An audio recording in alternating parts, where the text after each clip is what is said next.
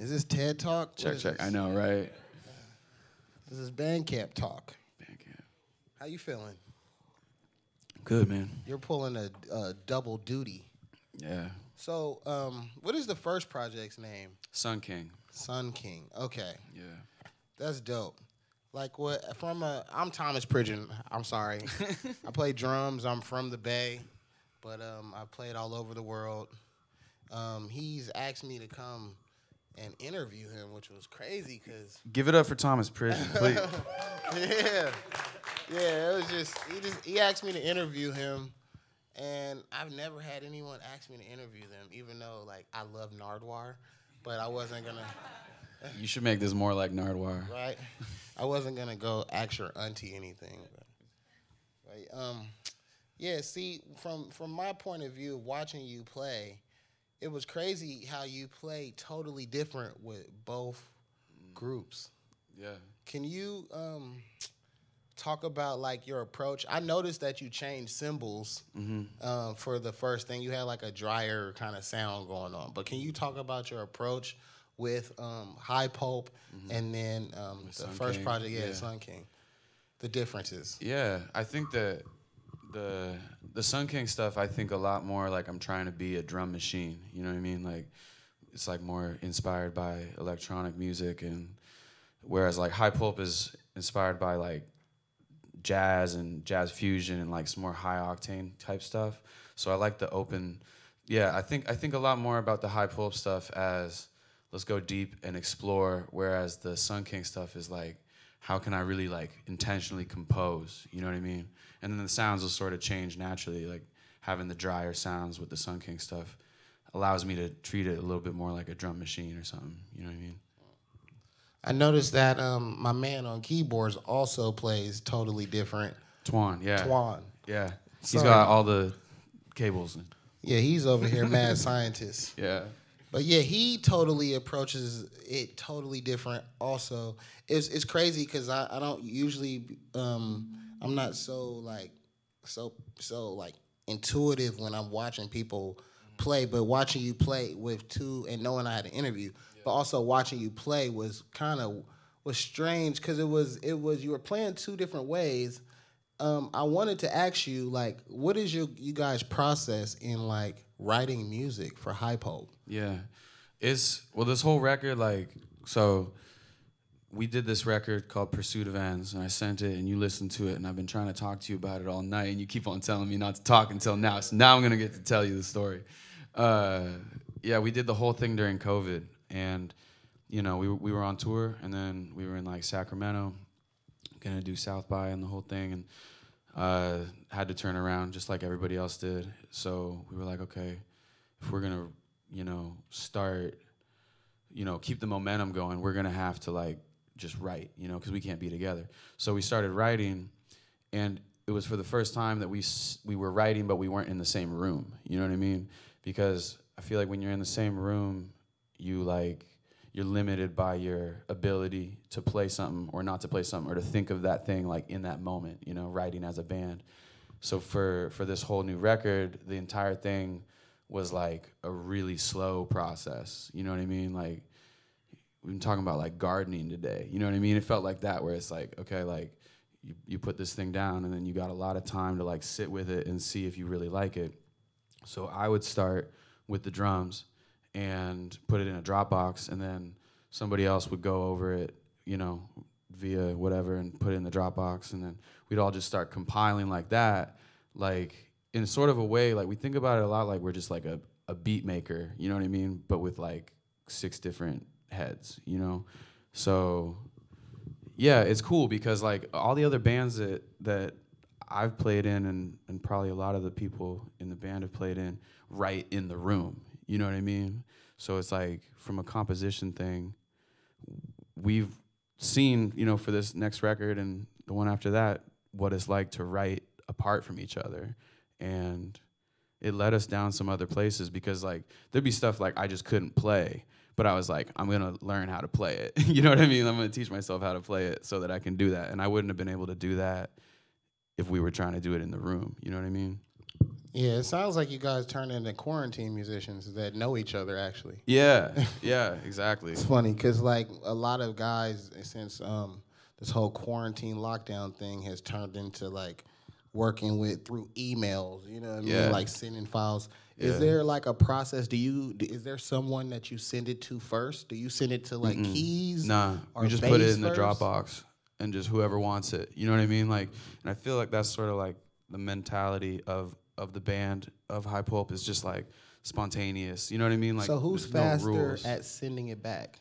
A lot of the time Tuan Tuan got a lot of, a lot of the the starts but the thing is is like even at the end of like you know recording everything like I don't know like it's it's still the song's still like really flexible throughout that process. Even once somebody lays something down it's still like a conversation you know what I mean? So it's like this record like I don't know at the end of the record Rob the other keys player like went through and he actually like charted it all out and he'd be like okay like thinking about like how how this chord is going to interact with that like horn you know background or whatever and be like oh let's change the trombone just like a semitone you know what i mean? Because okay that see what that's like. We'll a b it and everything. And so like the whole thing was just like alive like the whole time you know what i mean? So even though like you know sometimes somebody goes first it was like every single time somebody you know added it it was like another flavor in the pot you know what i mean that you could actually taste you know what i mean So I know you guys are from Seattle. Does um the city of Seattle have like any kind of like you know influence over your plan and your guys' music? I I'm like I remember like obviously like the the grunge era Yeah. and like some of the bands like you know Fall of Troy Mhm. and certain like progressive metal Fall bands and like um you know just like all the grunge bands right Yeah.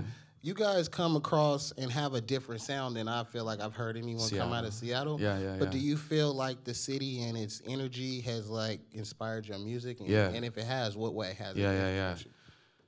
Yeah, without a doubt. I feel like somebody asked asked me that the other day, and I was like, yeah, like we we are a Seattle band. We rep Seattle. Like we feel like Seattle is in our blood. You know what I mean? And even though we don't like, I don't know, sound like Nirvana or whatever, like all of those, and there's obviously so much more than that than the grunge stuff. But I don't know the like we always talk about ourselves like internally we're just like yeah we just feel like it's like a punk band or something you know what i mean like we don't feel like a jazz band you know a lot of us grew up playing in like diy bands and just like playing all different kinds of music you know? Um so so i feel like i don't know in that way like that that feels like what what seattle is you know what i mean? And and there's also like so much inspiring stuff like we were talking about shabazz palaces you know what i mean? And um just like the whole black constellation stuff super dope. And you know like seattle's got more sounds now you know what i mean? It's like people are always like oh yeah nirvana huh? It's like yeah you know and a whole bunch of other stuff. So i feel like you know we we represent seattle like proudly and we know that like we're a different angle on it. You know what i mean? And that's that's special to us because that's what we're trying to do. You know what i mean? Okay. I know you guys are about to like embark on a tour that how long how long was you guys tour? uh, six weeks. Six weeks. Okay. And it's seven of you guys. Jesus Christ. eight nine with the tour manager So why do this? you sound like my parents you know what Nah, i mean it's just a serious question. Like no no no Because you know you have a lot of bands that are are really amazing are in their own city. Yeah. um, they rep wherever they from, but they don't choose to get in a van yeah and make it count and sell Yeah. merch and like try to develop a fan base. yeah I know you guys have like a record label that Yeah. you guys got signed to, but Yeah. why? Like, what made you have the heart to be like, you know what, we're gonna take this outside of Seattle? We're Why? just trying to do it. Like, you know what I mean? Like, it's like I don't know. We don't.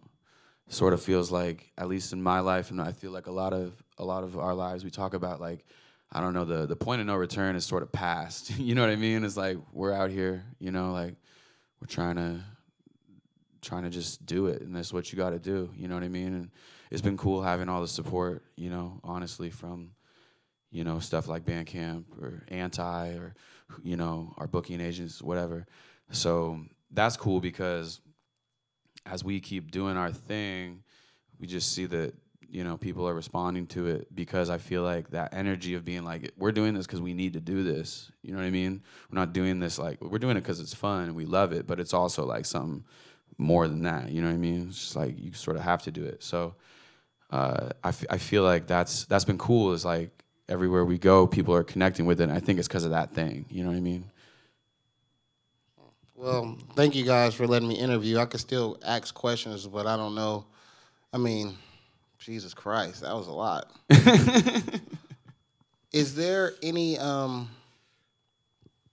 like okay, so on some drum level stuff. Yeah. What drummers are you like like like you know okay sometimes you can hear people's influences by how they sound like when i hear you i don't i can't really tell who you're influenced by so like can Cool. you talk about a few of the guys that you like really like like maybe grew up on or like were a super fanboy of not Mm-hmm. Yeah. just like i like them but like Yeah. a fanboy Yeah, yeah, person. yeah, yeah.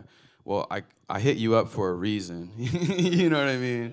So like, yeah, uh, definitely cats like you, um, you know, Justin Brown, like, um, you know, obviously like like I didn't get into jazz and, and stuff until I was a little older. But then when I found Elvin, you know what I mean? Like that was a whole thing, and Tony too, you know. So all those guys, you know, Elvin, Tony, Roy, Jack, you know, Max, whoever, all those jazz guys that you just call by their first name, you know.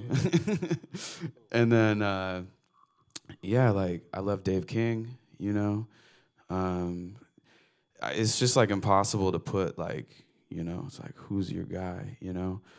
Um I, I i just think i'm inspired by honestly and even more maybe than like you know there's obviously a whole like drum lineage but also i'm inspired by just like people that are doing their own thing you know what i mean? And that could be like a chef you know what i mean? Or that could be like a athlete or whatever you know what i mean? So i feel like yeah like I, I don't know. I think my whole my whole DNA is like a weird soup with a bunch of different influences. You know what I mean?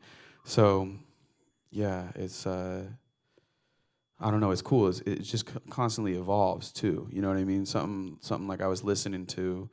I've been having a whole Max Roach phase again, and it just sounds totally different to me than it did ten years ago. You know, because things are slowing down, or I'm hearing things differently, and I can appreciate some of like how like compositional he was. You know what I mean? Um, so yeah, and just I think the improvised like there's a lot of improvisation in both of these groups, and like people that are really not afraid to improvise is is is some of my favorite my favorite stuff because that's inspiring because you got to be so vulnerable. You know what I mean? So are you running effects with the first band on the left side? Is that like effects going on? Like, cause Nah. I was confused because at some points I was hearing like programmed drums. I'm like trying to figure out. Like when I see shows, I'm always trying to figure out who's doing what. Right. Sometimes like the person's not really singing. I'm like, Yeah. Yeah, yeah, yeah. No, it's a it's a it's a it's a sampler and a and a sequencer. So yeah, it's a mixture of like, you know, uh, I'm not doing any effects on the drums. It's just like I'm playing the drums dry, and then I also have some like electronic stuff going on that's like part of the the whole ecosystem. You know. I thought it was cool, man. I think, Yeah. man, yeah, man, it, it was good seeing you guys from like my point of view. It was cra- it was crazy watching like like you approach like certain like jazz rhythms or jazz ideas with him not playing regular traditional jazz keyboards. That Yeah. shit was tripping me out. I was like, are you noticing this? Well, that's And- the thing we're trying to do. On you know, like is is we're not trying to like be like, okay, jazz is this thing. Yeah. You know what I mean? It's like I might play some jazz stuff, or I might play like a samba thing or whatever.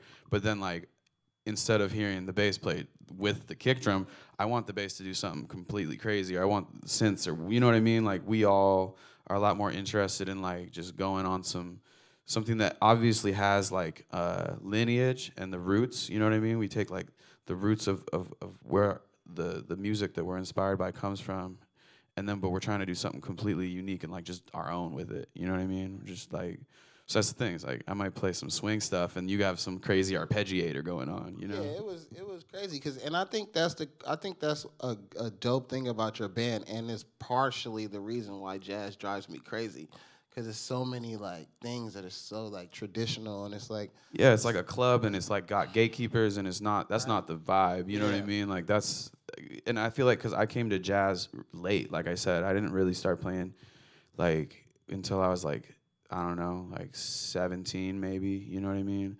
And like I don't know. I felt like if I hadn't been going to like a jazz high school or something, there's there's no room for you. You know what I mean? And it's like, so I feel like that's like close to us because like, you know, we we we are like sort of like all these outsiders in this way. You know what I mean? And so I get fed up with that too because it's like, man, like, and that's not that's just like counter to the to the art. You know, like you can't go deep if if you have like you know gatekeepers and stuff. Yeah, I just think that like I don't know. I think we had this. I think our generation is like a lot better than the generation before us.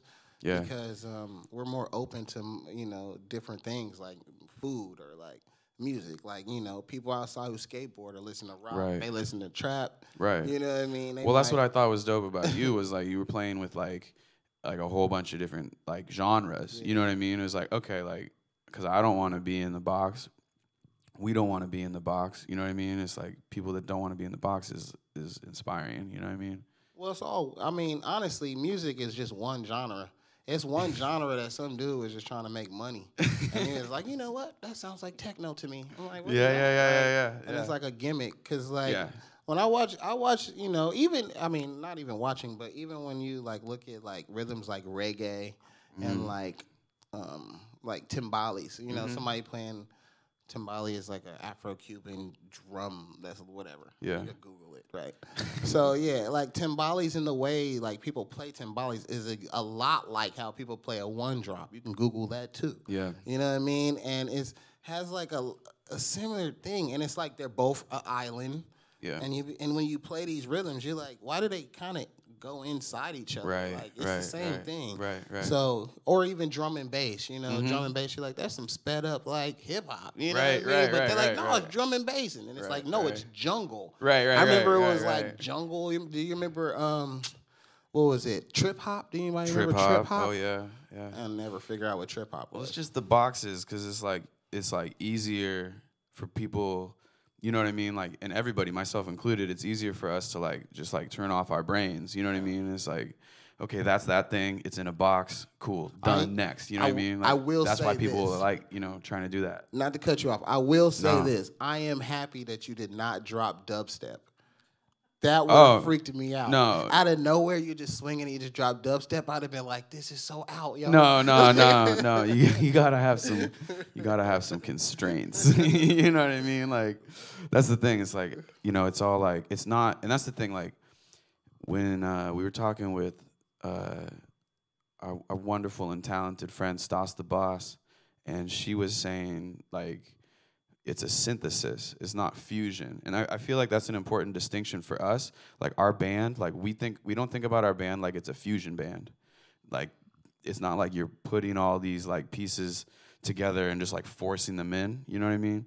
It's it's like it's a synthesis. It's like everything is like sort of working intentionally. And i feel like that distinction is like because it's funny i don't know i feel like it feels more singular that way. Like sometimes fusion feels like it's just these disjointed things. Or here's a dubstep drop. You know what i mean? Like here's you're in some jazz stuff and then dubstep. It's like you know we're not trying to do like stuff for like shock value. You know what i mean? We're like trying to like just compose and see where you know if we don't put limits on where the composition can go we just see wherever it wants to go. You know what i mean so hey i don't know maybe we will do a dubstep thing one day So- but i don't think so So my question is, did you guys do the whole quarantine jam thing because you had to, or was that like a like a no we just had to okay? because it was just like you know we, we took it all seriously. No one we wanted to hang out with each other. no we were sick of each other at So that how are you point gonna do this in this van for six uh, weeks? we're in week one we're gonna worry about that later Christ. yeah, man. I was touring before all this thing, and I wouldn't. People were peeing on each other, and Okay. fucking. We don't do oh, that. wild stuff. so it's like, yeah, it's not like, yet. Not yet. It's like yeah, we at don't do this that yet. At this point, man, you guys are you guys are gonna pack it in. That's yeah. cool. Man, well, I thank you, man. I don't have hella crazy. I questions. appreciate it, man. No, I appreciate I it. I want to keep it. I want to keep it PG in here. Yeah, we haven't even really cursed yet. It's I know. good. So, is there anything you hella have to do on this tour in any of these cities? You're not going to go to like. See, if I'm in Seattle, I'm hitting the Space Needle just to look at it. I might not go and eat in there, Space Needle's but is there? lame. Huh? Space Needle's lame. I'm just saying, I'm gonna look at it, take Yeah. a picture for my Instagram. Right. Is there anything you're gonna do, like any drum stores, any places you can't wait to play? Is there any crowds that you guys know are gonna be lit? Yeah, Minneapolis. We got a lot of family in Minneapolis. Why Minneapolis? Because I, I went to school out there and we got a couple members from there. So that's going to be fun. And then Chicago, New York, all this. We, you know, we've never been to the East Coast. So we're just excited to see what it is, you know? And by the time this comes out, it'll be after the tour. And hopefully we'll still be a band. Oh yeah, you guys are gonna be a band. That's cool. Yeah, man, it's going to be fun, man. Yeah, man. Appreciate it. Thank you, man, for including me in your um, your endeavors. Uh, No I doubt. appreciate you. No doubt. Clap. Thank you. Clap already. Hell yeah. Thanks to Bandcamp, for real.